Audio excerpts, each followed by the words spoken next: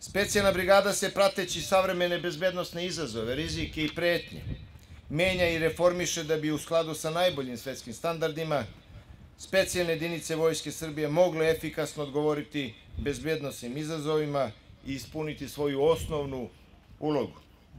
Odluka o formiranju 63. padobranske brigade, 72. brigade za specijalne operacije od sadašnje specijalne brigade, doneta je kako bi, povećala brzina, kako bi se povećala brzina reagovanja, pojednostavio lanac komandovanja i sa uspehom odgovorilo i suprostavilo savremenim izazovima, rizicima i pretnjama, koji su uslovili potrebu da se svestrano i analitički razmotre mesto, uloga i zadaci specijalnih jedinica u vremenu ispred nas.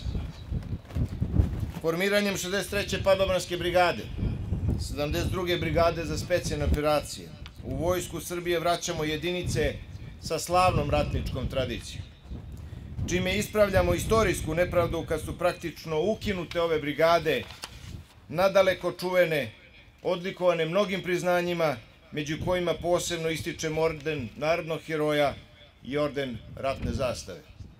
Predsednik Republike Srbije i naš vrhovni komadant, kao i ministar odbrane lično, u prethodnom periodu posebnu pažnju posvetili su opremanju specijalne brigade najsavremenijim naružanjem i opremom,